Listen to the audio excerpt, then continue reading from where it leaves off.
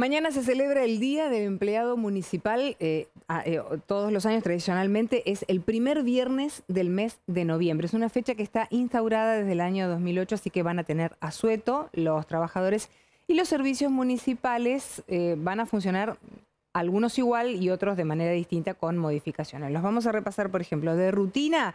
Bueno, el servicio de recolección de residuos, el, el barrido de las calles también, sin cambios. Tampoco va a haber cambios para las bicicletas inteligentes, las bicicletas municipales. En el cementerio, ¿qué va a pasar? Bueno, las visitas y los horarios van a ser habituales, pero atención, porque no va a haber cremaciones. Las oficinas, en general, claro, oficinas municipales van a estar cerradas, al igual que los ecopuntos. Vamos a compartir ahora el mensaje de ASOEM para sus afiliados. Los servicios de barrido y limpieza se prestarán de manera normal, como así también el transporte público de pasajeros. En cambio, el Tribunal de Faltas permanecerá cerrado.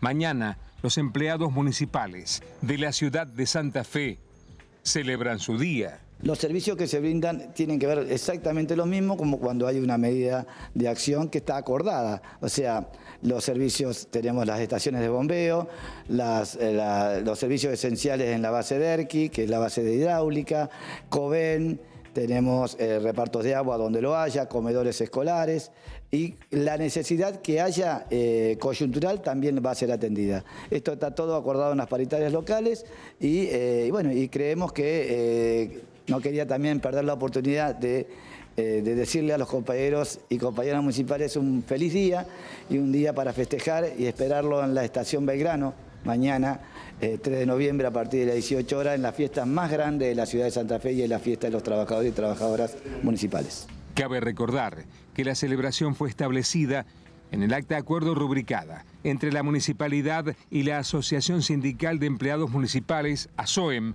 en diciembre de 2008. En las localidades que tiene el sindicato de ASOEM como jurisdicción, que es la ciudad de Santa Fe, la ciudad de eh, Rincón, la ciudad de Recreo, hoy ya la ciudad de Montevera también, y la comuna de Arroyo Leyes, por acuerdos paritarios locales, en el año 2008 aproximadamente, se fue produciendo ese corrimiento, porque en realidad hay una ley eh, provincial que define que el 8 de noviembre es el día del municipal. Lo que nosotros dijimos es, que nosotros, como los otros gremios que también tienen eh, el homenaje a los trabajadores un día X, queríamos ese día que fuera no laborable.